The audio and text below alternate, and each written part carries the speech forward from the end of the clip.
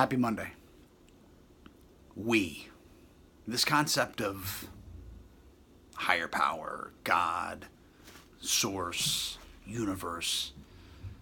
Let's roll it back, right? So if you have an issue with God, source, universe, higher power, I get it.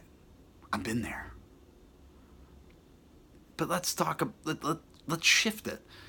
If you don't believe in any of that, none of it, I believe that we, uh, you know, there's nobody, there's nothing in the sky, there's no, and maybe it's not in the sky, maybe it's right here with us, maybe, you know, so, but you don't believe in, you don't believe in anything. What do you believe in? Do you believe in you? Do you believe in the concept that you are your own God? You make the choices, you control you? Okay, good. But that's me, right? If I if I believe that, it's just me. M E, me solely. I, I, you, me. There's no unity within any of that. If you believe you are a God, would it not then fall that a group of your peers are a greater God? They are greater than you. Their power is greater than you. In force, they can make you do, manipulate you to do what they want. And if you're part of that group, then that's a we. And they are larger than the individual.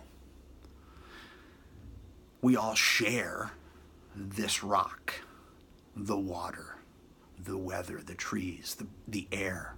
We share it. So that's something greater than us. And there is an interconnectedness to that.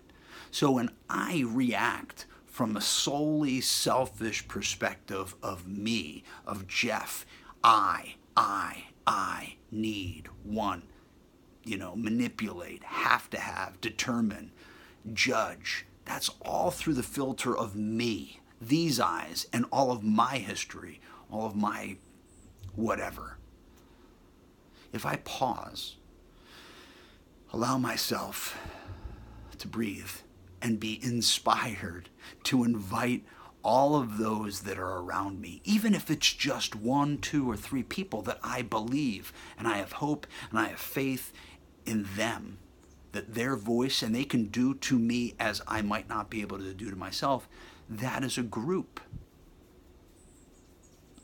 It's more than I. And if then we're we.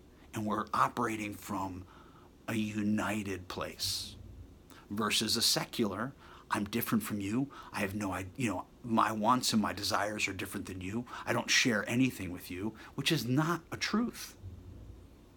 Re- like it or not, we share every, we all share air.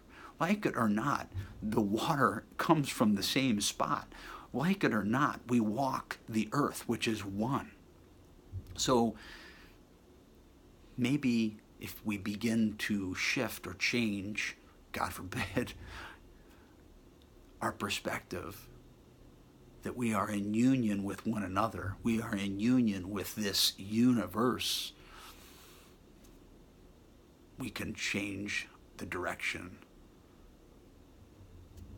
of our intention, our consciousness versus the divisive, the decisive, the angry, the pointing fingers, the I don't know. The we versus the me. The us versus the I.